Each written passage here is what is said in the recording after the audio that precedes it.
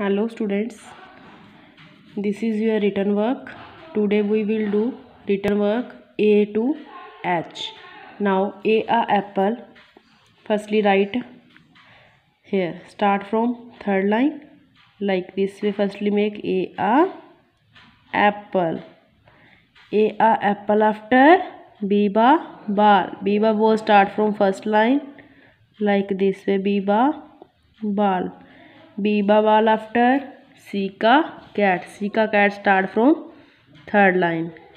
Like this way C का cat, without pick pencil make a C का cat.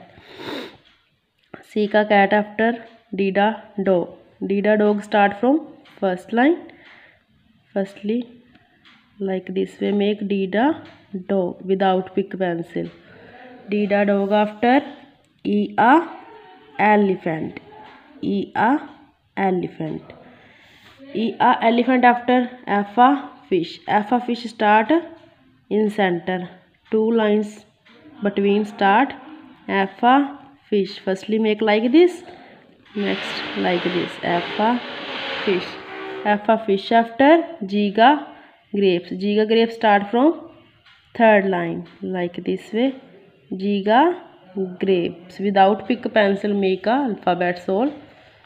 Now h a hen like this way h a hen next same as downside a to h now same as firstly make a a apple a a apple after b ba ball b ba ball after c ka cat c ka cat after d da dog Dida dog after E a elephant E a elephant after F a fish F a fish after Giga grapes Giga grapes after H a hen now this one done your A to H now next page matching. Matching. Firstly see this one your simple alphabets.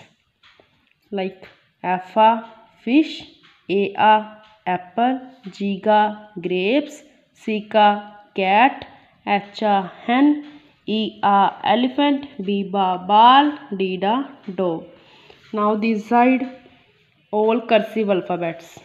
See?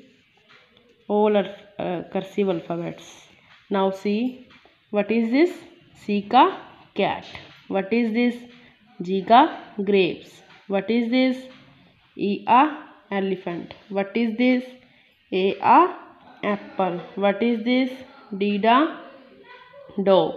What is this Biba ball. What is this Acha hen. What is this Fa fish. Now start now firstly what is this?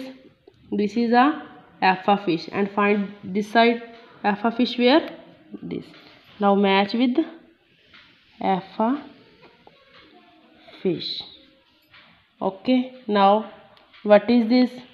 A a apple. Now match with a a apple. Now what is this? Giga grapes. Now here what is where? Giga grapes this one. Now match with like this. Now what is this? Sika cat. Where sika cat? This one sika cat. Now acha horse. Where is horse? Acha horse this one. Now match this side. Acha horse. Now what is this?